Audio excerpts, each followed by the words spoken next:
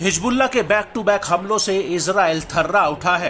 Gaza युद्ध शुरू होने के बाद से हिजबुल्ला ने आईडीएफ को अभी तक की सबसे बड़ी चोट दी है।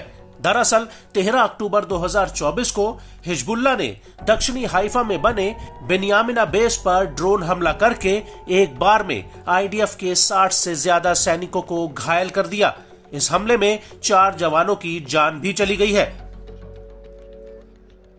लेकिन अब हिजबुल्ला ने एक बार फिर से आईडीएफ पर एक बहुत बड़ा हमला किया है। हिजबुल्ला ने लाबुने में आईडीएफ पर रॉकेटों का एक पूरा जत्था फायर किया और इस हमले के बाद जब खालिद वारदे में आईडीएफ के सैनिक इकट्ठा हो रहे थे, तब उनके ऊपर भी ऐसा ही हमला किया गया। लेबनान की न्यूज़ एजेंसी अलमयादीन के मुताबिक, मेरकाबा की तरफ़ से आईडीएफ की एक पैदल ब्रिगेड लेबनान में घुसपैठ कर रही थी। और तभी उसके ऊपर ताबड़तोड़ गोलीबारी की गई।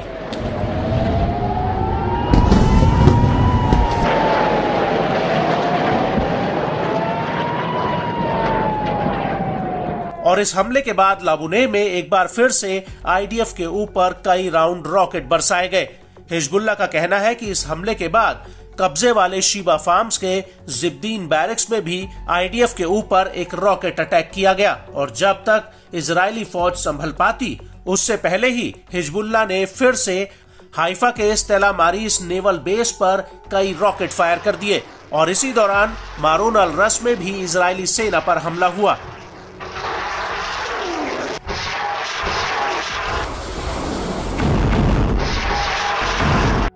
आपको बता दें कि हिजबुल्ला के इस हमले का एक वीडियो भी सामने आया है, जो जैस जियोना का है। यहाँ पर एक खड़ी कार पर मिसाइल आकर गिरती है, जिसमें जोरदार ब्लास्ट होता है।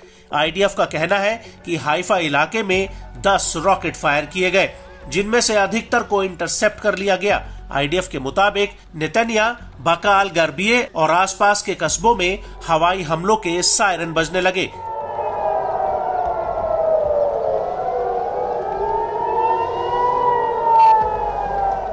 आईडीएफ का ये भी कहना है कि दोपहर के करीब कारमेल में पंद्रह रॉकेट फायर किए गए, लेकिन इन हमलों के बीच आईडीएफ ने हिजबुल्ला की राडवान फोर्स के एंटी टैंक मिसाइल एरे के मुखिया कामेल नईम को ढेर कर दिया है।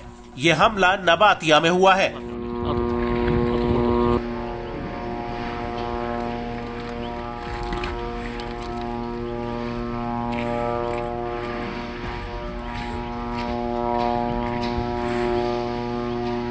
आपको बता दें कि आईडीएफ ने ऐलान किया है कि वो हिजबुल्ला की ड्रोन यूनिट 127 को पूरी तरह से खत्म कर देगा।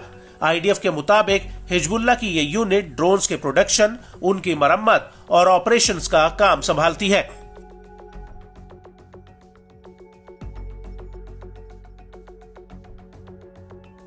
आपको बता दें कि हिजबुल्ला का यह भी दावा है कि एता अल शहाब में उसने इजरायली फौज को पीछे खदेड़ दिया। और इस हमले के बाद पूर्वी नेतनिया के बेत लिद बैरक्स में आईडीएफ के जमावड़े पर रॉकेटों का जत्था दाग दिया। और इसी दौरान हिजबुल्ला ने किरियत शमोना में भी कई रॉकेट फायर किए। बड़ी बात यह है कि हिजबुल्ला ने यह भी दावा किया है कि मैरकाबा के बाहरी इलाके से आईडीएफ ने फिर से घुसने की कोशिश की तो उसके ऊपर तुरंत जवाबी हमला किया गया।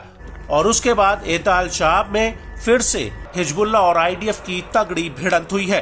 हिजबुल्ला का ये भी दावा है कि उसने रमौत नफ्ताली सेटलमेंट और रोशत अल अलाम बेस पर आईडीएफ की पोजीशंस पर रॉकेटों का पूरा झुंड दाग दिया। हिजबुल्ला के मुताबिक उसने इसी हमले के दौरान करमेल सेटलमेंट और जिवॉन सेटलमेंट पर भी रॉकेट अटैक किया है और इस हमले के बाद पूर्वी मरकाबा के इलाके में इसराइली सेना पर फिर से रॉकेट फायर किए।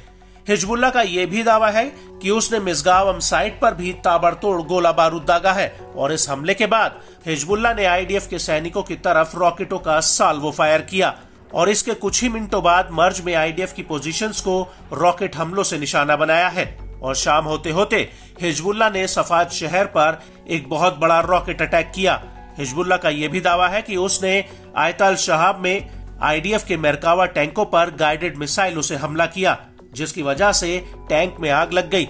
हालाँकि इन हमलों में आईडीएफ को कितना नुकसान हुआ, इस बात की अभी कोई ठोस जानकारी सामने नहीं आई है।